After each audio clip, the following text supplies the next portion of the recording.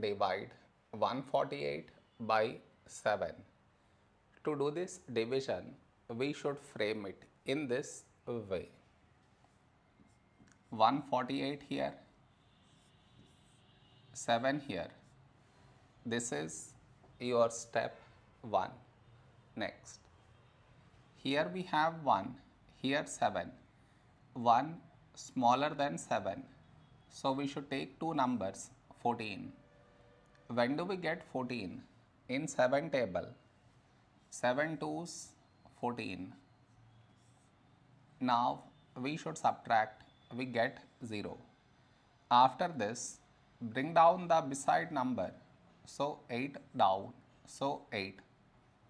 A number close to 8 in 7 table is 7 ones 7.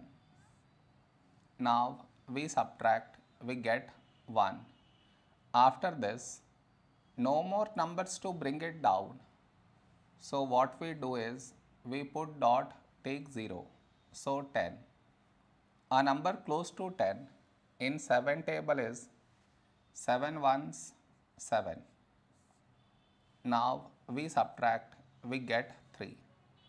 After this, we already have the decimal, so directly take 0, so 30.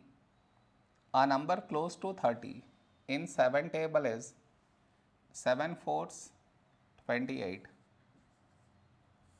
Now we subtract, we get 2 and the division continues. It is enough if we do up to 2 decimal places